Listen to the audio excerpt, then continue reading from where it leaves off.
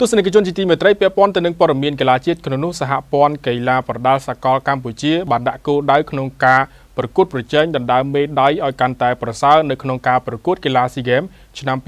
2022និងឆ្នាំ2023សហព័ន្ធកីឡាប្រដាល់សកលកម្ពុជាបានបដិញ្ញាខំប្រឹងអភិវឌ្ឍនិងពង្រឹងសមត្ថភាពបច្ចេកទេសរបស់ក្រុមជម្រើសជាតិខ្លួនដើម្បីឈានទៅបំបែកសមិទ្ធផលចាស់ក្នុងការប្រជែងមេដាយឲ្យកាន់តែល្អប្រសើរនៅក្នុងការប្រកួតកីឡាស៊ីហ្គេមពីលើក ចំពោះមុខគឺការប្រកួតកីឡា SEA Games លើកទី31នៅវៀតណាមនាពាក់កណ្ដាលឆ្នាំ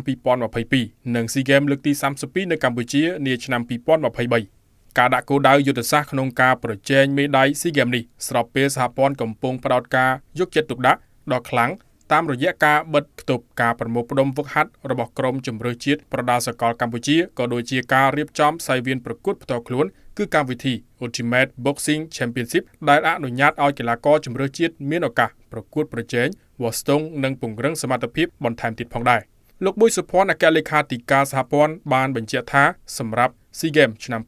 2022នៅវៀតណាមសហព័ន្ធគ្រោងបញ្ជូនកីឡាករកីឡាការិនី8ទៅ9នាក់ចូលរួមហើយបច្ចុប្បន្នសហព័ន្ធកំពុងជំរុញនិងតាមដានជានិច្ចចំពោះការវឹកហាត់របស់កីឡាករកីឡាការិនីដើម្បីពង្រឹងសមត្ថភាពពួកគេឆ្ពោះទៅដណ្ដើមមេដាយបានច្រើនឬឈានទៅដណ្ដើមមេដាយកម្រិតខ្ពស់ជាង SEA Games ឆ្នាំ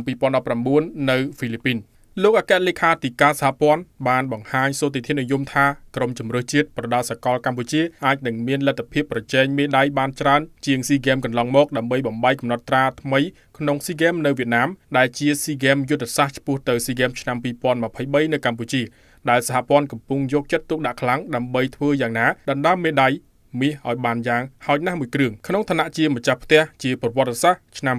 2023គួរដឹងថាកាលពី SEA Games លើកទី30ឆ្នាំ2019នៅប្រទេសហ្វីលីពីនក្រុមកីឡាករប្រដាល់សកលកម្ពុជាដណ្ដើមបានមេដាយសម្រិត5គ្រឿងបច្ចុប្បន្នសហព័ន្ធបានទទួលគោល ការពីក្រសួងអប់រំយុវជននិងកីឡាធ្វើការប្រមូលផ្ដុំក្រុមជម្រើសជាតិ13នាក់ក្នុងនោះមានកីឡាការិនី2នាក់ដែលកំពុងប្រមូលផ្ដុំវឹកហាត់នៅនាយកដ្ឋានអង្គរៈនិងម្នាក់កំពុងវឹកហាត់នៅវៀតណាមដើម្បីប្រកួត SEA Games នាឆ្នាំ